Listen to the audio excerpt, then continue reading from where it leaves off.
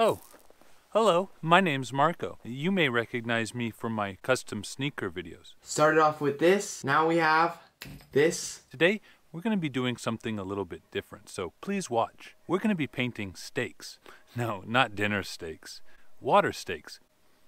Bad joke. I'll show you what I mean. Let me get an old one. See?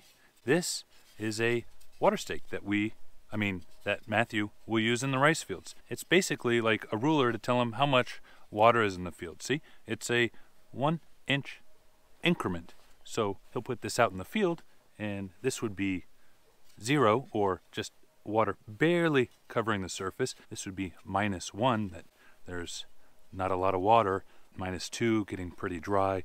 Minus three, totally dry. But on the positive end, one inch deep of water, two inches deep, three inches deep, four inches deep. I mean, how else do you think rice farmers know how much water is out in their fields, especially when rice is growing? Just throw a rock in there? And no. Anyway, I hope you're super satisfied with this video. Well, what do you think? Should we get started? Okay, come on.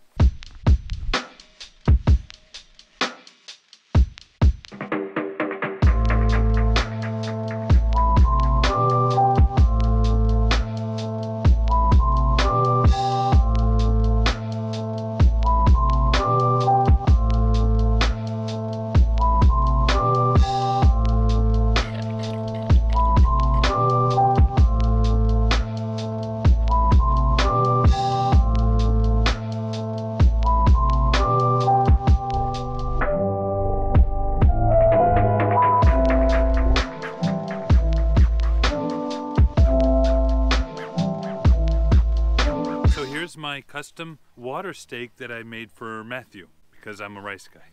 Oh, nice guy. That's a stupid joke. I hope you found this custom stake video uh, satisfying. Please um, hit the like button because I'll be giving one of these stakes away if I hit 100,000 likes or 1 million subscribers. And I'll leave a, a video of one of my custom sneaker jobs down in the description. So if you'd like to see that, that would be that would be that would be cool.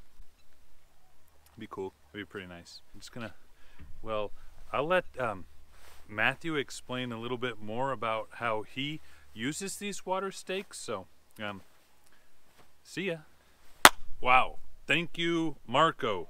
These water stakes, custom by you, are super sweet. All right. Let's work. It's the 2020 crop year.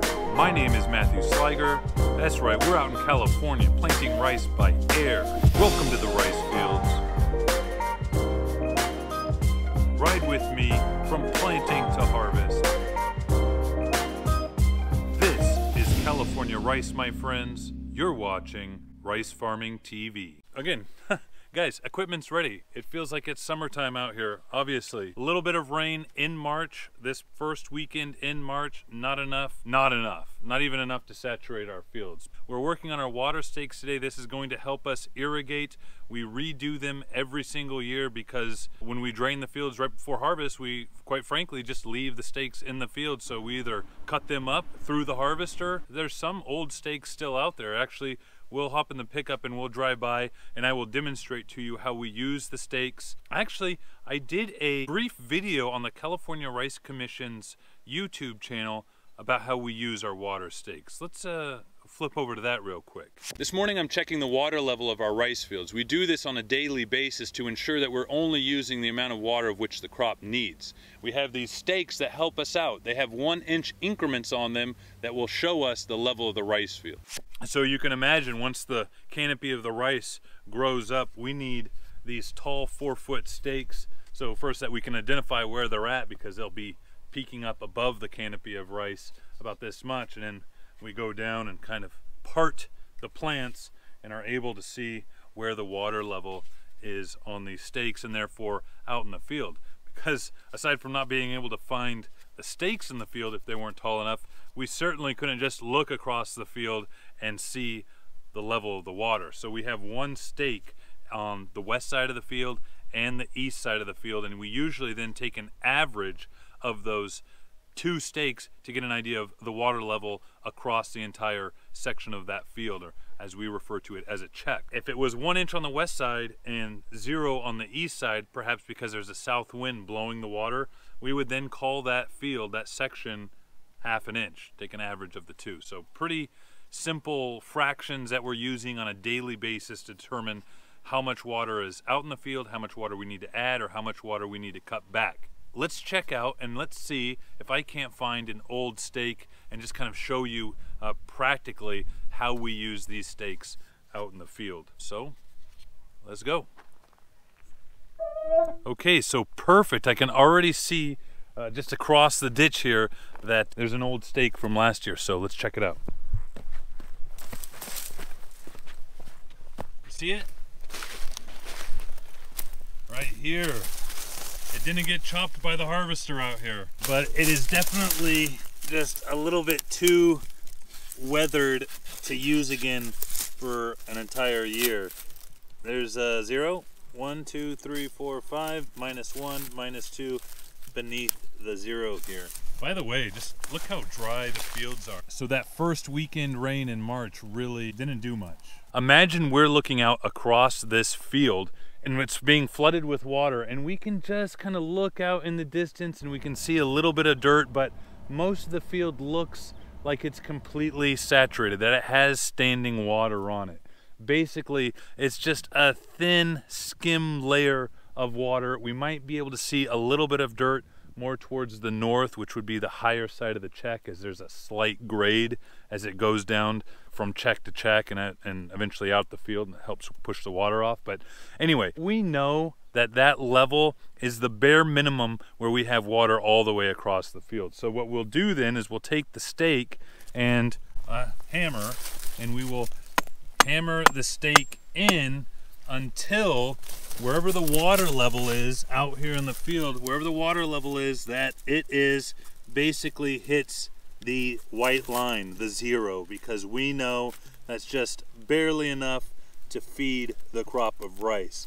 So the white line doesn't go down to the soil, right? Because remember, we're gonna have some water up against here. So it looks like negative three is what hit the dirt before the water level hit zero this last past year when we used this stake. So then the water level here when we hammer the stake in is at zero and as we build the field up with water we want it about two inches deep before we seed so we will wait until the level of water hits that two inch red line. We don't like a lot of water out there. We like two inches because it's shallow enough to we know that if something happens with our ditch pumps, we're not going to be stressed out about needing to repair it super fast to get water back out here because the plants will have sufficient amount of water for a couple of days.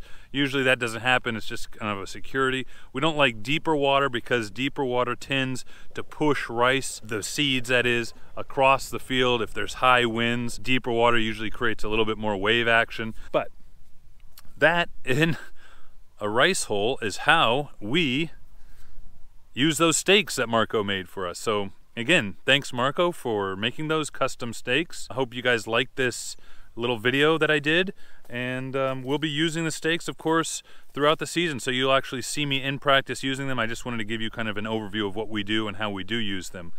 Again, it is coming into the second week of March and we're still waiting for rain. Haven't got much. Anyhow, thanks for watching everybody. Give me a thumbs up if you enjoyed the video. If I get enough, Marko's gonna send out uh, custom stakes to everybody. Alrighty, bye-bye.